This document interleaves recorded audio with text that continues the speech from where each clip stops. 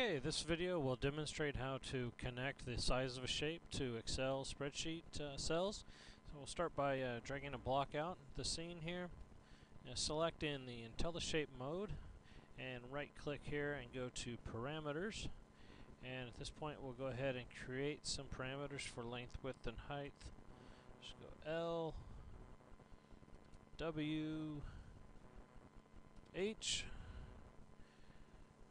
Okay, and then we'll put in the expression to point the cell parameter to the cell in the Excel spreadsheet. Parentheses, type in Excel, parentheses, and in quotes, the file name, in this case it'd be C colon temp slash block dot XLS. And close quote, qu comma, and in quotes the name of the sheet, in this case sheet 1, comma, and again then in quotes the cell, and for the length it will be A3, close quotes, close parameter, and um, you have to put in a scaling factor because uh, as in all uh, parameters this comes in uh, as the units of meters so put that in here, 0, 5, 4, get back to inches.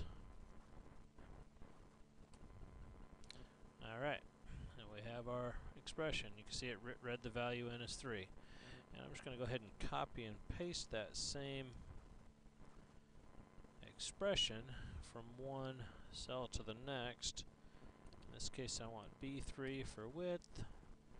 See it grab 2 there, and then put C3 for the height. And we got one. So hit OK there. Now we can go in to the IntelliShape properties for that block to size box, show formula, and just replace these numerical values with the parameter names.